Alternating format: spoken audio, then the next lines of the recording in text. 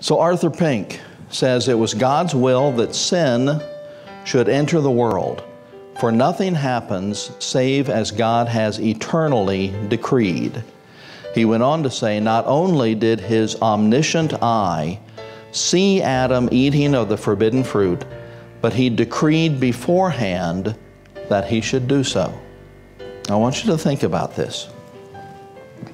God commanded Adam not to eat of the fruit, right? He said, You can eat them all, but that one over there, and you're not supposed to eat that one, right? He commanded Adam not to eat the fruit. Adam disobeyed.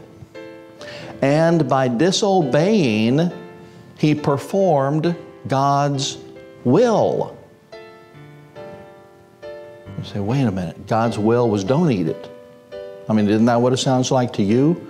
If you just read Genesis, what do you come up with?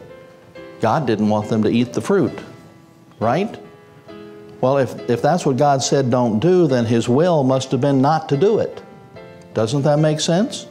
Sounds to me like it makes sense. So, Adam fulfilled God's will by disobeying.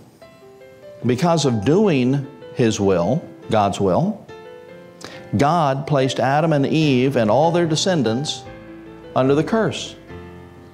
Adam disobeyed, but by disobeying, he did what God wanted him to do in the first place and what God made him do because he sovereignly decreed that he would do it.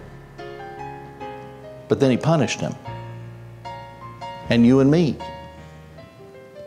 Okay? And the 7 billion people in the world, probably about 90% or 95% of whom are headed straight for hell because it's the will of God. And that's what they say is sovereignty.